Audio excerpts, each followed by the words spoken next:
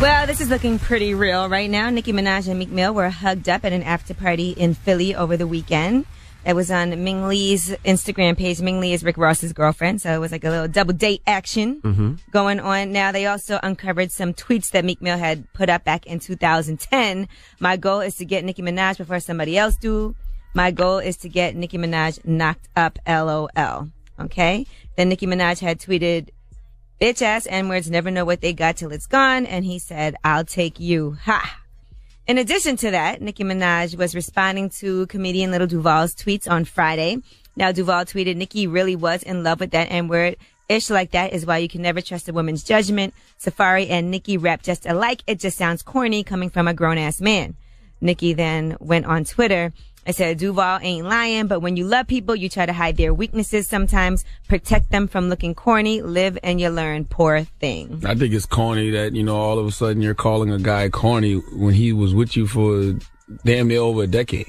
I think they should have left it out the press. He just got corny? That's what you're trying to, I don't get it. Like, Both sides you can tell are hurt, but they should have just left it out the press. This is hard, man. All this back and forth and Mhm. trying to hurt each other's feelings on social media, and we're all just watching. and I still think it's very whack that you never made the relationship public, but you're making the breakup very public.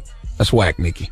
All right, now Ray J is moving on Kim Kardashian's block. He just made an offer to buy a house that's on her street. He wrote a $2.7 million offer to buy a house just eight doors down from Kim and Kanye. Ray J ain't playing fair, man. Now, Ray J said in his defense, he said it's already his hood. He's lived there longer than Kim Kardashian has. So, if anything, they moved to where he was. That's gonna be funny. It's not like they're going to run into each other. Yes, they will. Okay. Well, at least when it comes to that neighborhood, Kanye and Kim can say they hit it first. Mm. That makes sense. All right, now Chris Brown, in the meantime, over the weekend was performing at a nightclub in San Jose. This happened yesterday morning at about 1:20. He was performing "Loyal," and that's when gunshots rang out. Five people were wounded.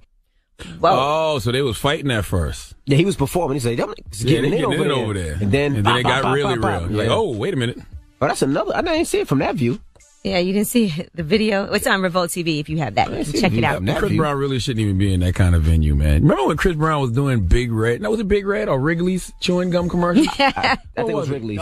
Doublemint. Doublemint. Chris Brown used to do Doublemint commercials. He was in number one movies doing backflips. He got into that little incident. And Now you in bars where shootings are happening? that wasn't a bar. It was, That it was was like a bar to It was a big. It was like a lounge. That was big- a pub. It It was not a pub. You in a pub singing these hoes ain't loyal guys. That was a big Dang, club. Chris, come on. It man. looked like he was maybe just doing some type of special appearance. It wasn't like a concert.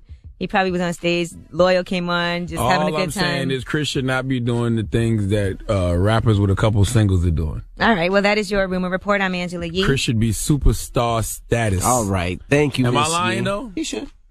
Jesus.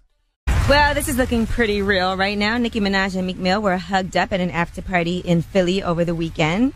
It was on Ming Lee's Instagram page. Ming Lee is Rick Ross's girlfriend, so it was like a little double date action Mm-hmm. going on. Now they also uncovered some tweets that Meek Mill had put up back in 2010. My goal is to get Nicki Minaj before somebody else do.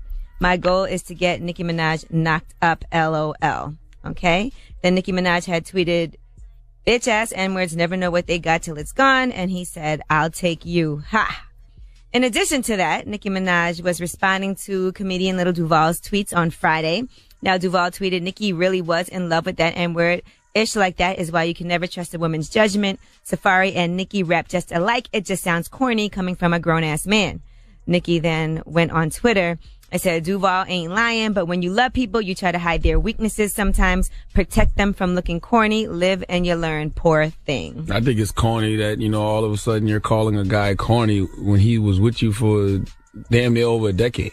I think they should have left it out the press. He just got corny? That's what you're trying to, I don't get it. Like, Both sides you can tell are hurt, but they should have just left it out the press. This is hard, man. All this back and forth and Mhm. trying to hurt each other's feelings on social media, and we're all just watching. and I still think it's very whack that you never made the relationship public, but you're making the breakup very public.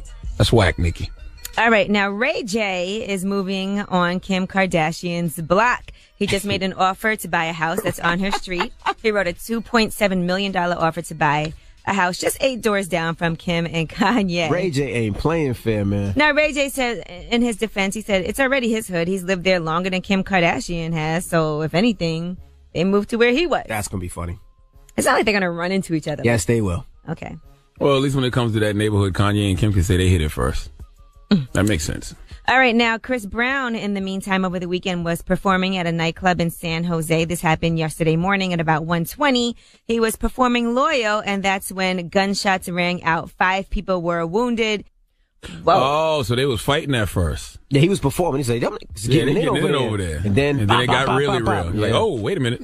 Oh, that's another. I didn't see it from that view. Yeah, you didn't see the video. It's on Revolt TV if you have that. You can check it out. from Chris. Brown really shouldn't even be in that kind of venue, man. Remember when Chris Brown was doing Big Red? No, was it Big Red or Wrigley's chewing gum commercials? I think it was was it? Wrigley's. Doublemint. Doublemint. Doublemint. Chris Yeah, Brown used to do Doublemint commercials. He was in number one movies doing backflips. He got into that little incident and Now you